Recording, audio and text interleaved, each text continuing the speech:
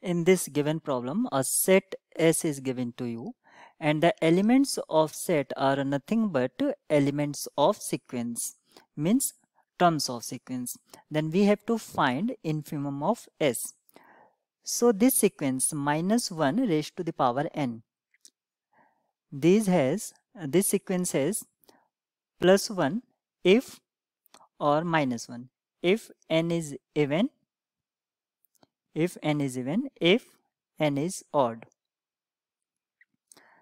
This sequence has only two terms plus 1 or minus 1 alternatively. And n raised to the power minus 1 raised to the power n. This one will be n raised to the power 1 or positive 1 if n is even and n raised to the power minus 1 if n is odd. Further, we can write n or 1 upon n. If n is even and if n is odd. As n tending to infinity, this will goes to infinity and 0. So infimum is lowest number. Infimum is lowest number or term. So 0. 0 is lowest. Option C is correct. A sequence Sn is given to you in terms of sine function for n equals to 1, 2, 3 because of domain of sequence is set of natural number. Now set of all subsequential limit of Sn we have to find. So how to solve this? We will try to find some elements or members of this sequence. So put n equals to 1, then 2, 3 and so on and try to find some elements of this sequence. When you put n equals to 1, we have sine pi upon 3 means sine 60 and value of sine 60 is root 3 by 2. When n equals to 2, sine 2 pi upon 3 means sine 120 and sine 120 you can write sine 90 plus 30. It will equals to minus of cos 30 and cos 30 is root 3 by 2. So second term is minus root 3 by 2. First term is 3 by 2. And in this fashion, you can check third term will be 0. Fourth term will be minus of 3 by 2 and again minus 3 by 2 and then 0 and this sequence follow this pattern. So subsequential limit of Sn will be option D because of we have a set root 3 by 2 again root 3 by 2 0 then minus root 3 by 2 again minus root 3 by 2 then 0 and repeat again. Root 3 by 2 root 3 by 2 and 0 so subsequential limits of Sn given in option D. In this problem Every sequence Sn of real number has a subsequence which is bounded, monotonic, convergent or divergent. There are four options. If we consider a sequence Sn as e raised to the power n, then this sequence is not bounded, not bounded or not bounded above, not bounded above. You can say more precisely not bounded above above. And uh, if you take subsequence subsequence of Sn is also not bounded not bounded. So option A discarded. Every sequence has this is a statement every sequence has monotonic subsequence. I am saying every sequence either it is constant or non-constant it has a monotonic subsequence option b is correct.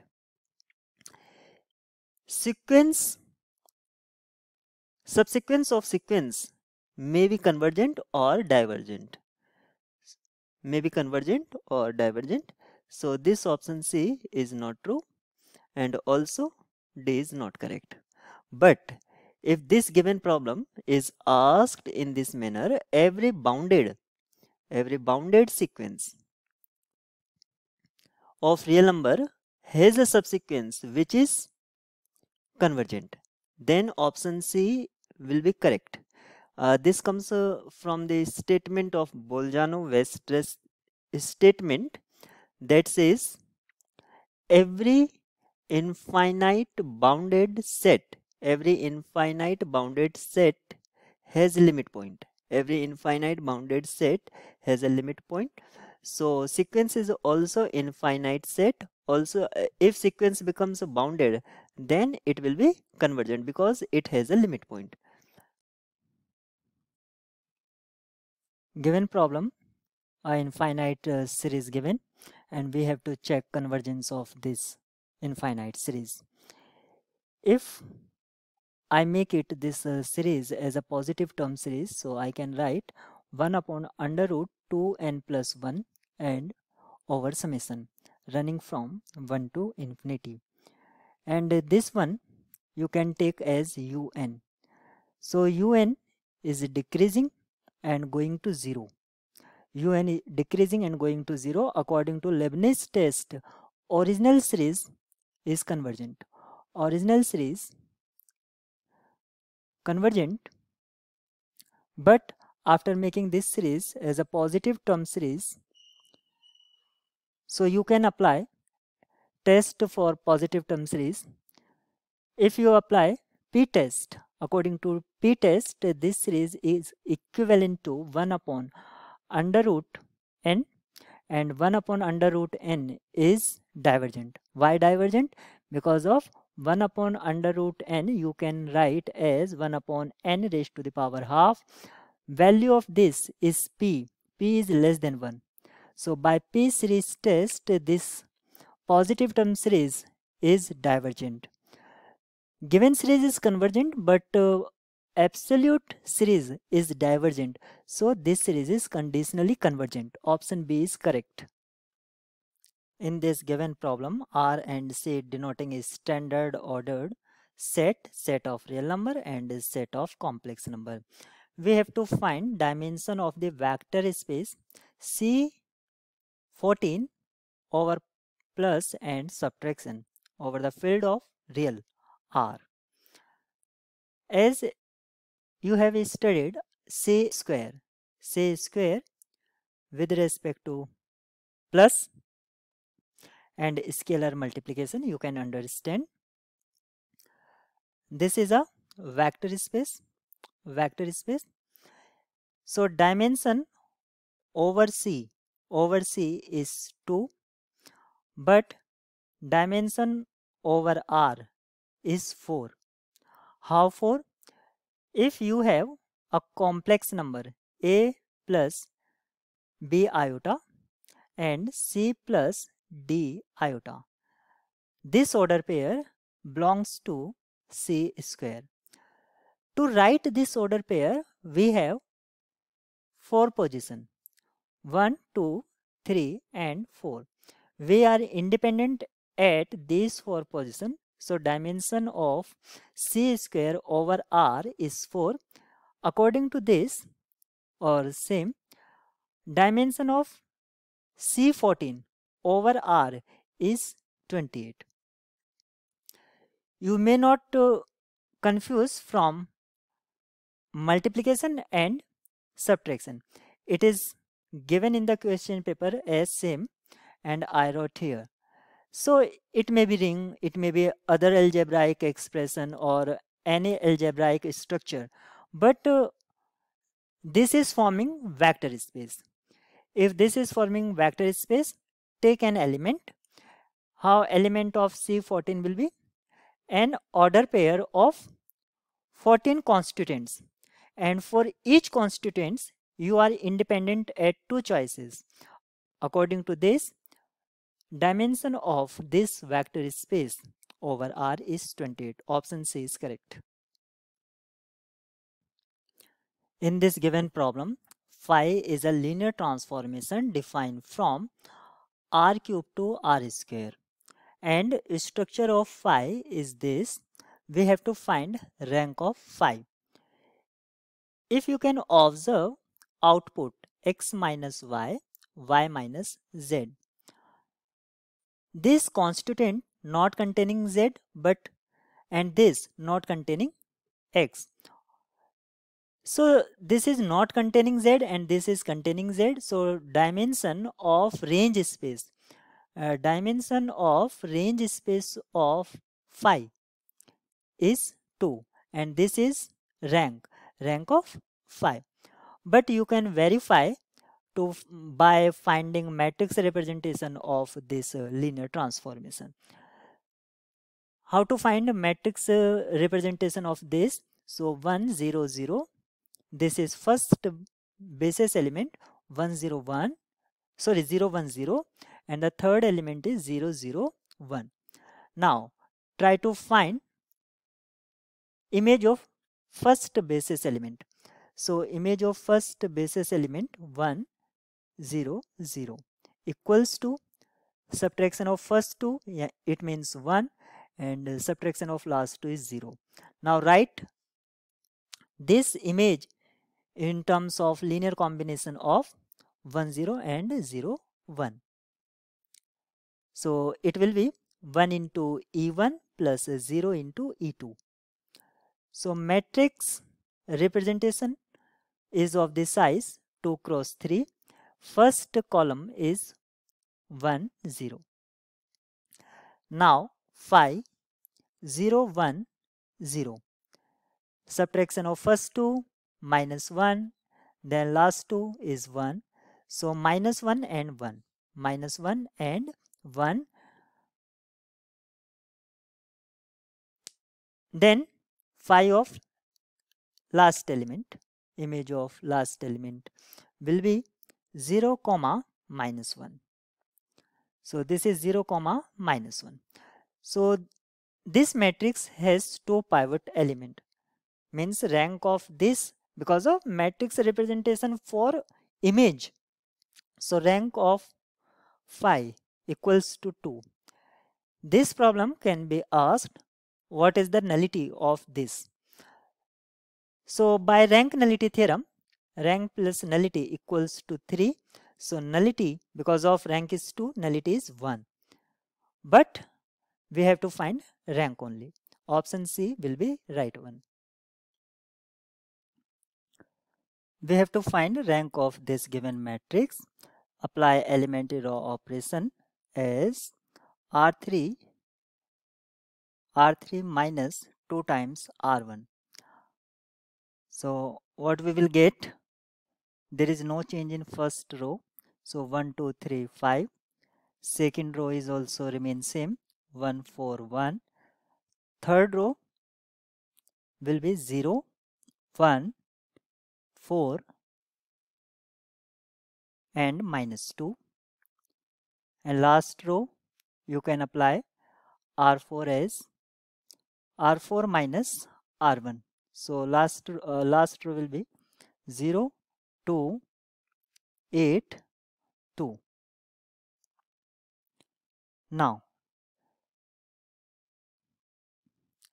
apply R3 A arrows over R3 R3 minus R2 and R4 change in R4 as R4 minus 2 times R2. Apply these two row operations simultaneously. So first row is same 1 2 3 5 second row 0 1 4 1 third row 0 0 0 and minus 3 last row 0 0 0 and uh, 0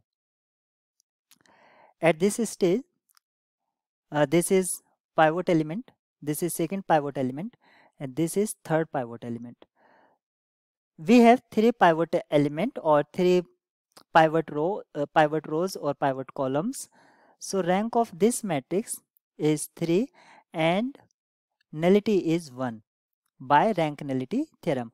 Or you can understand uh, this is free row free from pivot. So this is the nullity. This become nullity. So rank of this matrix is 3 option C will be correct we have given a series and we have to find radius of convergence of this power series. There are two types of method. You can use anyone r equals to r means radius of convergence limit n tending to infinity un upon un plus 1 limit of this expression is radius of convergence or you can use r equals to 1 upon limit n tending to infinity un raised to the power 1 upon n.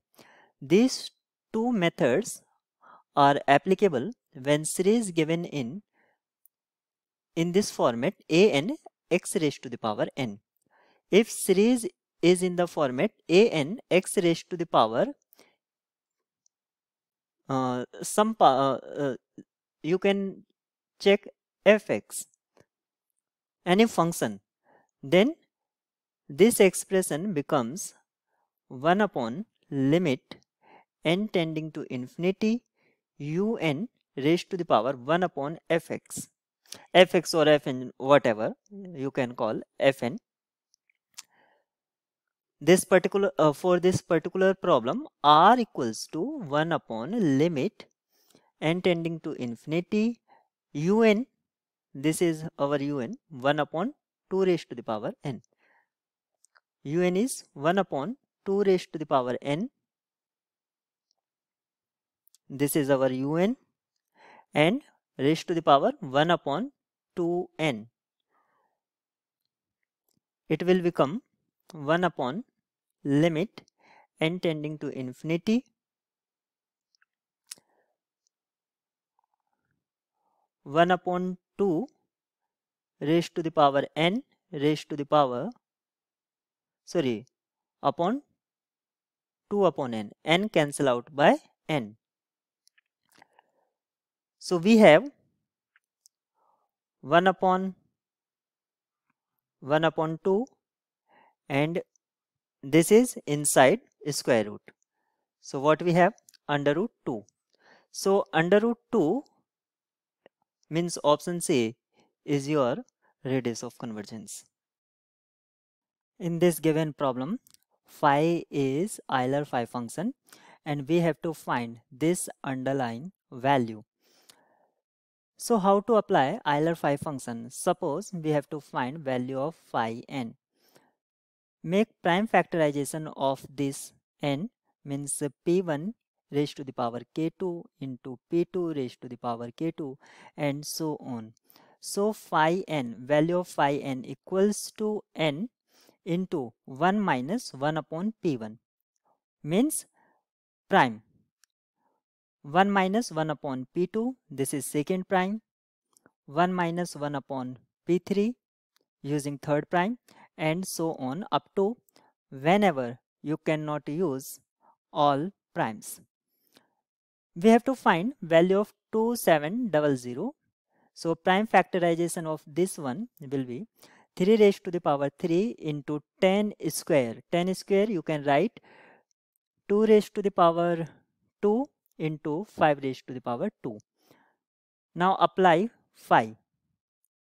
So 5 on both sides, value of this one will be 1 minus 1 upon 3. 3 is first prime, second is 1 minus 1 upon 2 and third is 1 minus 1 upon 5. Now this value equivalent to 3 square, 2 square, sorry 3 cube and 5 square. You will get from this basis 2 upon 3 into 1 upon 2 into 4 upon 5. Now 1 power less, 1 power less and 1 power less. What we have? We have 3 square, 2 into 5 into 2 into 4. This value we have. So you can collect all powers of prime. So 3 square, 2 raised to the power 4 and 5. Now, because we have to find value of phi of phi 2700. Now apply again phi on this. Phi on this will equals to 3 square 2 raised to the power 4 and 5 1 minus 1 upon 3 1 minus 1 upon 2 and 1 minus 1 upon 5 what we have? 3 square 2 raised to the power 4 and 5 into 2 upon 3 1 upon 2 into 4 upon 5 1 power less 1 power less and 5 cancel out by 5 we have 3 into 2 raised to the power 3 into 2 into 4. This value equals to 3 into 2 raised to the power 6 because 1 power here and 2 power here. Uh, so 2, 1, 3 and 3, 6. Now this value equals to 3 into 64 this value 3 4 is 12 3 6 18 or 119 192 option D is correct. In this problem Zn denotes the set of all residue classes of integer modulo n. Z13 Z13 with respect to addi addition modulo 13 and multiplication modulo 13 we have to find inverse of 6 bar 6 bar is residue class of 6 or you can easily say equivalence class of 6. So multiplicative inverse of 6 or you can write easily 6 is a number is a number you can say x after multiplying these two and dividing by 13 we have 1 if such number exists, then we say inverse of 6 is x. So if we put 6 into 4, suggestions from options, we are getting 24 after dividing by 13, we are not getting 1. If we take 7, 6 7 is 42 after dividing by 13 we are not getting 1 6 into 9 we have 54 dividing by 13 not getting 1 but 6 into 11 we are getting 66 and 66 dividing by 13 we are getting 1 so 11 bar or simply 11 is the multiplicative inverse of 6 option D is correct in this problem there are two functions fx and gx. Confusing point is as mode is appearing in this problem and we have to check linearly dependency or independency over a certain interval. Intervals are not same but we know something about mode function. Mode function is positive when x is positive mode function is positive when x is positive. So first we are checking for positive values. Fx is x raised to the power 4 and gx equals to x into x cube. It also becomes x raised to the power 4 for all x greater than 0 now you can check fx and gx. Not are different they are same so what linearly independent or dependent word says? If two vector u and v vectors or function you can consider anything said to be linearly dependent if any one can be written as scalar multiple of other scalar multiple of other. So you can write gx as scalar multiple. Scalar is 1 so fx and gx is linearly dependent. Linearly dependent and dependent only is given in option A. So option A will be correct. And in in other problems or in other options you can observe for positive value you can take uh, 0.5 at 0.5 these options B, C and D can be discarded. So correct option is option A.